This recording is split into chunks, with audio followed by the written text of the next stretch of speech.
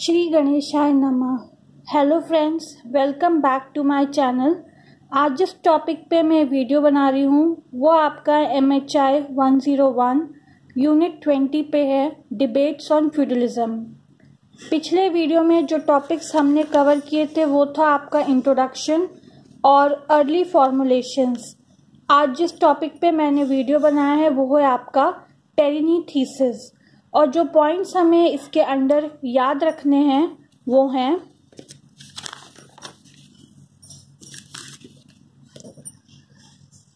the Pirenne thesis was propounded by Belgian historian Henri Pirenne Pirenne argued that the real change in Europe came from the rise of Islam, not barbarian invasions.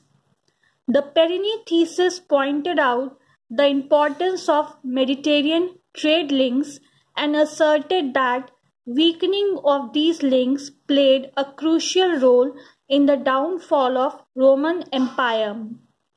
Perini rejected the view that Germanic barbarians had caused the Roman Empire to end and he challenged the notion that the end of the Roman Empire should be equated with the end of the office of emperor in Europe, which occurred in 476 AD. According to Perini, the real break in Roman history occurred in the 8th century as a result of Arab expansion.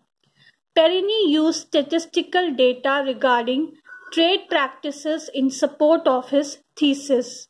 His argument was based on the disappearance from Western Europe of items that had to come from outside.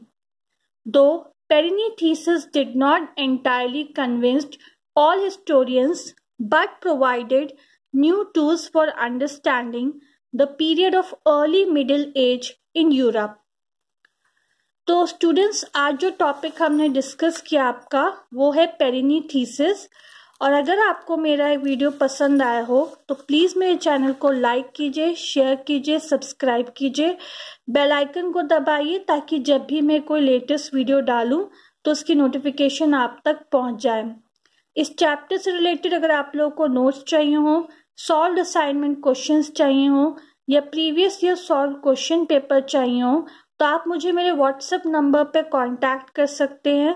आपको सिर्फ़ message करना है call नहीं करना है।